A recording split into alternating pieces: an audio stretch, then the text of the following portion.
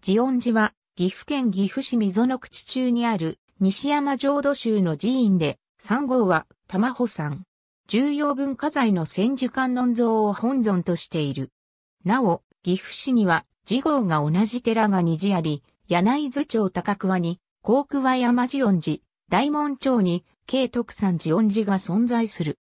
研究6年に、落合国寺の追善供養のため、その子の山形国政、予保国政兄弟が会期となり、次元大僧正を解散とする、天台宗の寺院として建立された。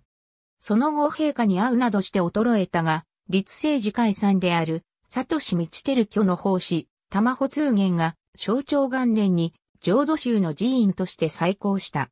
文明年間に、住職の森海上人が、霊夢によりその当時の本尊であった、絵心創図作と伝わる阿弥陀如来を、関市の万願寺の伝行大師作と伝わる、千手観音座像と交換している。また、森海上人は、文明18年に、寺の北西に末寺として、仏光寺を開いた。文禄2年には、西福寺、寛永元年に、福前寺を末寺に加えている。女王3年、火災により消失。天明三年、京都前林寺と光明寺から順断林の称号を得ている。明和6年と明治4年に火災に遭い、多くの時報と道具を失う。現在の本堂は明治43年に再建されたもので、栗は明治11年に再建されたものである。本尊の木造千手観音座像は平安時代後期の作とみられ、阿弥陀如来を頭上に掲げる珍しい形をしている。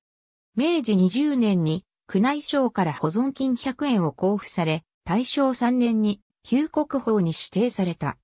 通常非公開であるが、1月1日から1月3日までの3日間と8月9日と10日の2日のみ、開庁される。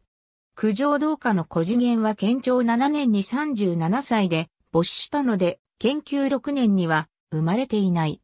なお、研究6年には落合国寺と同族の次元が天台座す次元の弟子となった。この次元の弟子が次元である。ありがとうございます。